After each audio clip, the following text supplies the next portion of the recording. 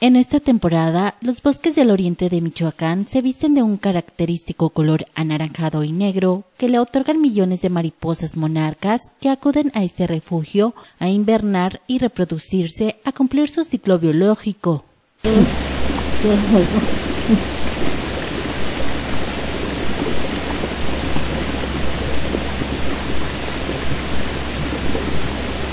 La migración anual del lepidóptero, su vuelo por más de 4.000 kilómetros, es uno de los más grandes espectáculos de la naturaleza que se ha convertido en atractivo turístico. Vemos pues que es un santuario pues muy bonito, que tiene pues mucho pino, mucha vegetación y pues que eh, es algo pues ahora sí que inexplicable la experiencia que se vive aquí porque vemos aquí la grandeza pues de, de Dios, la grandeza de la naturaleza. Y son maravillosos.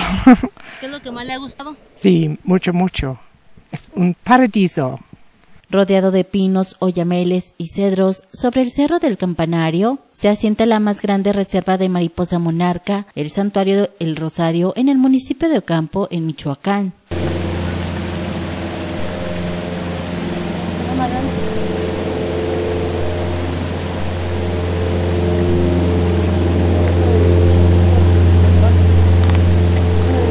El santuario forma parte de la Reserva de la Biosfera de la Mariposa Monarca, un área protegida y reserva natural de 56.000 hectáreas en Michoacán y Estado de México y que fue declarada Patrimonio de la Humanidad por la UNESCO en 2008. En la zona que se abre al público se ha habilitado senderos para el avistamiento.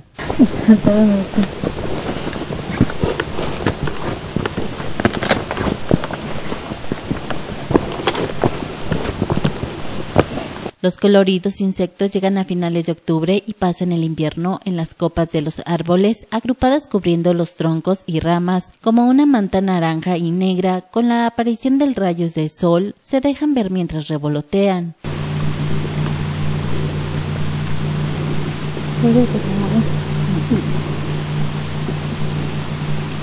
Es un insecto cuya belleza, colorido e importancia como agente polinizador y factor de equilibrio ecológico son relevantes por lo que se trabaja desde diversos frentes para preservarla los ejidatarios. Estamos organizándonos aquí un poquito más para que la mariposa, este, o sea, se vaya incrementándose más aquí.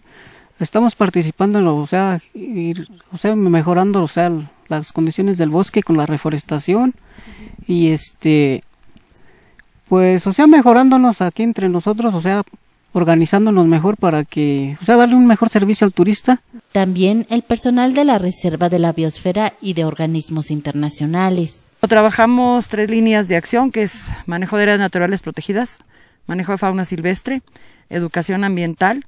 En, en el programa de educación ambiental tenemos uno bien específico hablando de que estamos en la Reserva de la Biosfera Mariposa Monarca que es este proteger el corredor migratorio de la mariposa cuando entra a, a México.